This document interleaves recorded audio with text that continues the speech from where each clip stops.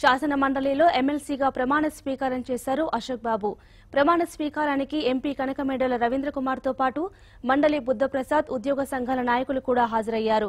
తనకు ఈ అవకాశం ఇచ్చిన ముఖ్యమంత్రికి అశోక్ బాబు ధన్యవాదాలు తెలియజేశారు. మళ్ళీ టీడీపీ ప్రభుత్వం రావడం ఖాయమని ధీమా వ్యక్తం చేసిన ఆయన సిపిఎస్ విధానం రద్దు విషయంలో తన పోరాటం కొనసాగుతుందని స్పష్టం చేశారు. మా సంఘం నుంచి నేను రెండో వ్యక్తిగా ఈ రోజున రాజకీయాల్లోకి అలాగే ఎమ్మెల్సీకి రావడం జరుగు జరిగింది.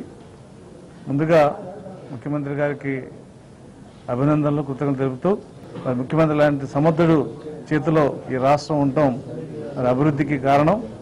కాబట్టి ఆ అభివృద్ధిలో మేము కూడా మరి పాలు పంచుకోవాలనే ఉద్దేశంతో ఈ రాజకీయాల్లో నిజాయితీకి పనిచేయాలని అలాగే మరి మొన్న జరిగిన ఎన్నికల్లో మరి మా మేము సంఘ నాయకులుగా కానీ లేదంటే ఒక బాధ్యత గల పౌరుడుగా కానీ తెలుగుదేశం పార్టీకి సపోర్ట్ చేయాలనే ఉద్దేశంతో మరి ఎలక్షన్స్కి ముందు నేను ఎమ్మెల్సీగా రావటం రాష్ట్రం అంతా కూడా తిరగడం జరిగింది.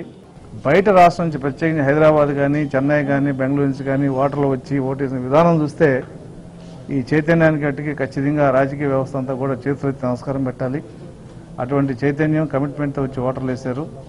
మరి నాకు తెలిసి ఖచ్చితంగా చంద్రబాబు నాయుడు గారు మరి రెండోసారి ముఖ్యమంత్రి అవుతారన్న నమ్మకం మాకు గట్టిగా ఉంది.